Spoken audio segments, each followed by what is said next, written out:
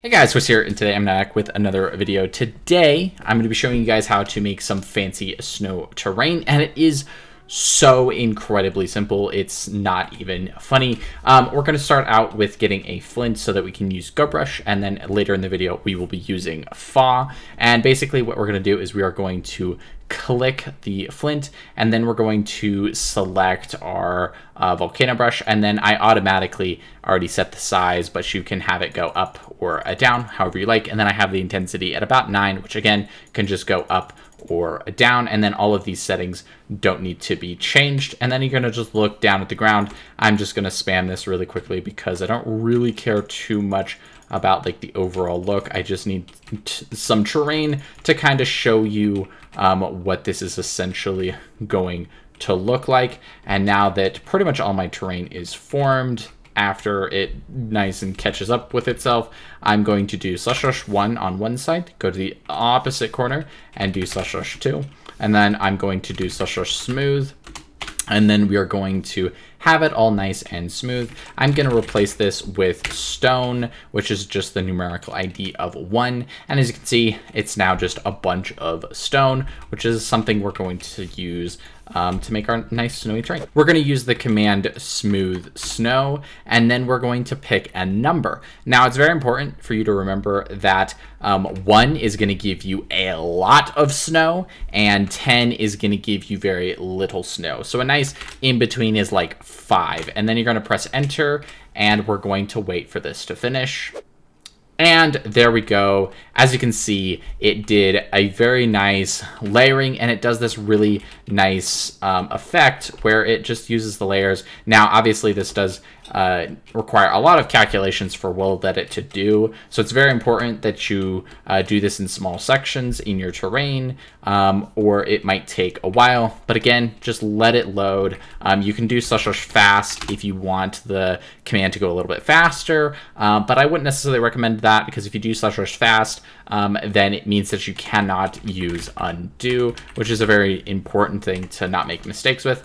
But just like that, you've now uh, made your um, terrain all snowy. Now, one thing that you can add um, to this snowy terrain is I'm going to paste my clipboard, um, and this is just a nice little spruce tree, and I'm going to kind of show you how to paste those around, um, and a few things you can do with spruce trees to make them look all nice and wintry. Um, something that um, I'm going to do is I'm going to do slash slash one to make the selection of the tree really quickly, just like that.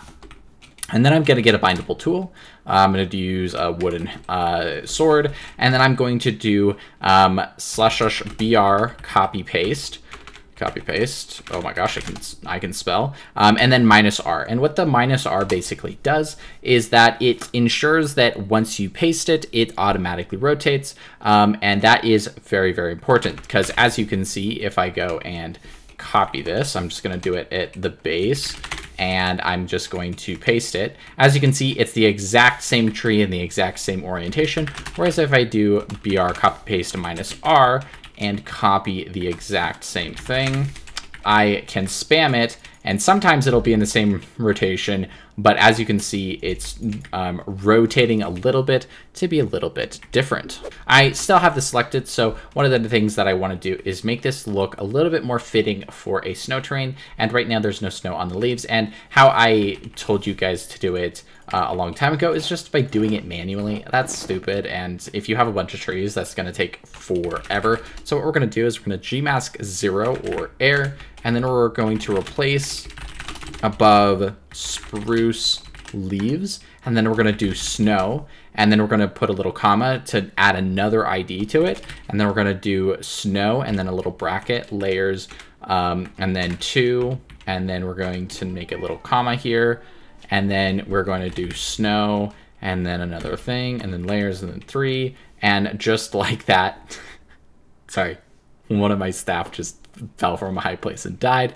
Um, and basically, as you do that, you can press enter and you can have a nice uh, tree with lots of snow variation. If you don't want that, you can just do snow and it's just that very flat first layer um, if you want. So you can kind of have those two different choices on how much snow is on your tree.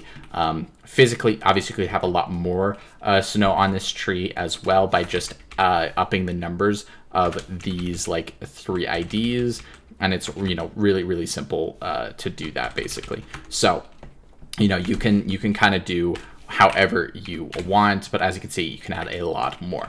And then basically what we're gonna do is we're just gonna copy this and then we can gmask zero, which we already had, but that doesn't matter. And then you can go and paste your tree um, around the terrain. Try not to make it paste it right on the hills because otherwise you'll get this little error. So you'll have to come back and fix that yourself manually. Um, but just like that, you can add a bunch of trees to your uh, landscape and it'll look so much nicer and much prettier. Now, one other thing that you can add to the tree, just as one final thing, is if you want, um, you can do a Gmask 0, which we still already had, and then we can replace under, which is this other bracket. So this was above, and this is under.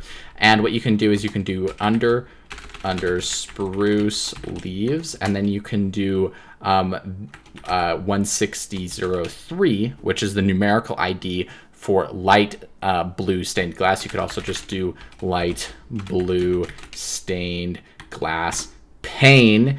Uh, but I hate doing that and so instead I just do that because it's so much faster and then I'm gonna add a bunch of zeros which is just a bunch of air so now it's to be 25% now it's going to be 25% glass and then it's going to be 75% air and just like that you can now add some nice little icicles under your tree. Um, if you do fix uh, connect, that's not going to work because you have your Gmask on. So you're going to turn your Gmask off and then you're going to do fix connections. And sometimes um, you'll have these connect. So you, you might just want to um, uh, disconnect them and make sure that they're just these little um, spikes hanging down and it just adds a little bit extra um, if that's what you're looking to do.